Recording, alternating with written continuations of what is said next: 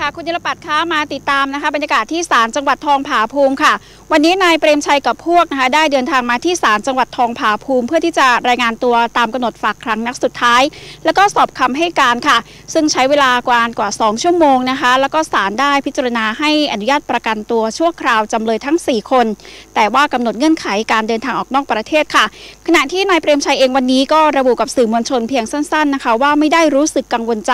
และก็พร้อมจะต่อสู้คดีอย่างถึงที่สุดค่ะ ค่ะ โดยเมื่อประมาณ8นาฬิกา50 นาทีนะคะ นายเปรมชัยกรรณสูต ประธานบริหารและกรรมการบริษัทอิตาเลียนไทยดีเวลลอปเมนต์จำกัด มหาชน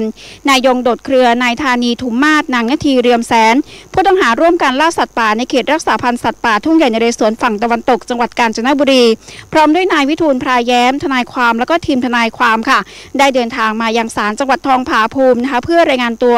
ตามกำหนดนัด ศาลฝากขังนัดสุดท้าย และอายการจังหวัดทองผาภูมิเองนะคะ ก็ได้สอบคำให้การ หลังจากที่อายการจังหวัดทองผาภูมินะคะได้นำความเห็นชี้ขาดอายการสูงสุด ที่เห็นพ้องกับอายการภาค 7 สั่งฟ้องผู้ต้องหา 6 ข้อหา และไม่สั่งฟ้อง 3 ข้อหา และอายการได้ส่งสำนวนฟ้องให้ศาลจังหวัดทองผาภูมิ เมื่อเย็นวันที่ 30 เมษายนที่ผ่านมาค่ะ โดยวันนี้นะคะคณะของนายเปรมชัยได้เดินทางมาด้วยรถยนต์ตู้สีขาวนะคะหมายเลขทะเบียน 5กไก่ททง 8071 กรุงเทพ โดยนายเปรมชัยนะคะมีสีหน้าเรียบเฉย แล้วก็ไม่ขอให้สัมภาษณ์กับสื่อมวลชนในตอนแรกนะคะ และก็ขอขึ้นไปยังห้องพิจารณาคดีชั้น 2 เพื่อรายงานตัวตามขั้นตอนค่ะ ซึ่งการรายงานตัวนัดสุดท้ายแล้วก็สอบคำให้การนะคะใช้เวลานานกว่า 2 ชั่วโมง จากนั้นนายเปรมชัยนะคะได้เอ่อเดินทางลงมานะคะแล้วก็ให้สัมภาษณ์กับสื่อมวลชนนะคะโดยยังคงยืนยันในความบริสุทธิ์ แล้วก็ปฏิเสธว่าไม่ได้เป็นคนยิงเสือดำและก็ไม่ได้รู้สึกกังวลใจด้วยนะคะต่อแนวทางการต่อสู้คดี ส่วนกรณีที่ภาคประชาชนจะล่ารายชื่อ เรียกร้องให้ภาครัฐ ร่วมกันงดการจัดซื้อจัดจ้างทำสัญญาทำธุรกิจเกี่ยวกับบริษัทอิตาเลียนไทยและโครงการต่างๆ นั้นนายเปรมชัยกล่าวเพียงว่าไม่เข้าใจว่าสังคมเกิดอะไรขึ้นค่ะ ไปฟังเสียงคุณเปรมชัยค่ะก็ได้ข่าวว่าที่ว่าไม่ก็ไม่รู้ผมไม่ทราบก็ลงไป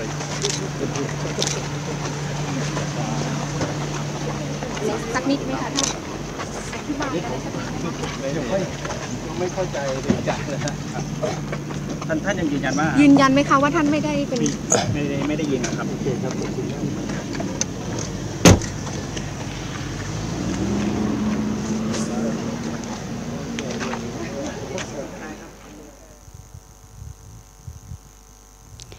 ค่ะทางด้านพันตำรวจโทอำนาจสุจริตชัยนะคะนายกฤษดาชูโตรองอายการจังหวัดทองผาภูมิ ได้เปิดเผยหลังจากที่ได้ร่วมฟังการสอบคำให้การนายเปรมชัยกับพวกนะคะ โดยระบุว่าวันนี้นะคะในส่วนของนายเปรมชัยกับพวกนะคะได้ให้การปฏิเสธทุกข้อกล่าวหาค่ะ แต่ว่าทางอายการเองนะคะก็ยังระบุด้วยนะคะว่าใน